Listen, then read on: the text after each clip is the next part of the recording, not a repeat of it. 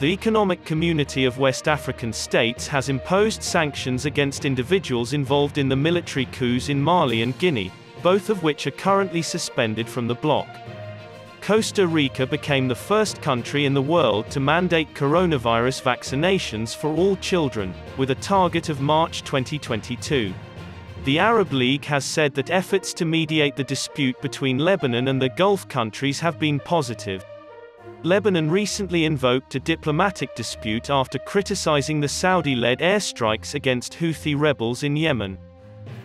Thousands of people in Wellington protested against COVID-19 restriction measures in New Zealand, breaching the gates of the parliament building. Jailed former Georgian President Mikhail Saakashvili, who has been on a hunger strike for over a month, has said that he has been abused by guards in the prison hospital he was transferred to on Monday. U.S. Secretary of State Antony Blinken met with Egyptian Foreign Minister Sameh Shoukry in Washington to discuss the military coup in Sudan, the Nile Dam dispute with Ethiopia, and various other regional issues.